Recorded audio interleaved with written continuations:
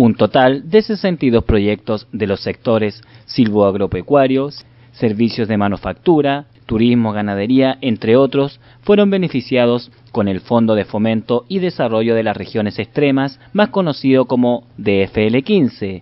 Este beneficio les permite a los pequeños y medianos empresarios obtener la bonificación en construcciones y adquisiciones de maquinaria y equipos, entre otras, directamente vinculados a sus procesos productivos o servicios. La directora regional de Corfo, Laura Álvarez, señaló que en el año 2010 comenzaron con una bonificación de solo 190 millones de pesos y este año se aumentó la inversión en casi 390 millones de pesos, por lo cual se encuentran muy contentos con el apoyo del gobierno. Este, este, este último proceso fueron 62 las empresas beneficiadas de más de 140 que postularon y esperamos aumentar aún más los montos para la próxima eh, postulación, así que esperemos llegar el próximo año en este proceso que finaliza la postulación el 31 de diciembre, que se sanciona a principios del año que viene eh, a más de 70 empresas eh, beneficiadas con el DFL15.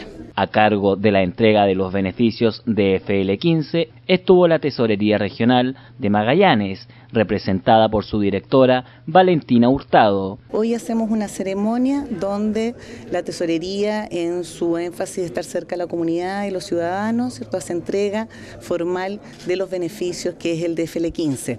Es un beneficio ah, que es para ah, lo que incentiva el desarrollo de la inversión y la reinversión de los eh, empresarios, por lo tanto lo que se busca es el desarrollo regional. Eh, este es un beneficio que se lleva todo el año, pero hoy en día estamos resaltando de manera de que la comunidad conozca de estos beneficios que se entregan, que son parte de las leyes de excepción. El proceso de postulación para los micro, pequeños y grandes empresarios finaliza este 31 de diciembre y las bases para inscribirse están en Corfo, la Intendencia y las gobernaciones provinciales.